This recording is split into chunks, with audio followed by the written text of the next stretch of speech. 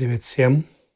Статью по таким названием опубликовал электронный журнал кардиологической практики Европейского общества кардиологов. В нем о том, что страдающим диабетом атеросклероза не то что не избежать, но он у них более тяжелый, с более серьезными последствиями. Причиной тому закономерное нарушение жирового обмена с высоким уровнем триглицеридов и так называемых атерогенных липопротеинов при низком уровне неатерогенных липопротеинов.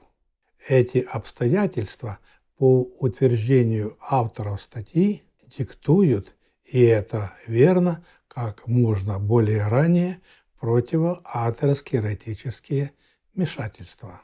Первый выбор здесь статины. Их много самых разных. Для примера, один только аторвастатин выпускается более чем дюжиной фармацевтических компаний под самыми разными названиями. Цена гуляет и есть возможность выбрать, который более всего подходит вам по карману. Когда повышен уровень триглицеридов, рекомендую добавлять фибраты. Если толку от статинов мало – Фибраты рекомендуют комбинировать с эзитимибом или ингибиторами PCSK9, но такая терапия для многих уже довольно сильно кусается. В статье говорится об ожиданиях на новые подходы с такими препаратами, как бемпидоевая кислота, икозапент-этил, инклисиран и некоторые противодиабетические препараты.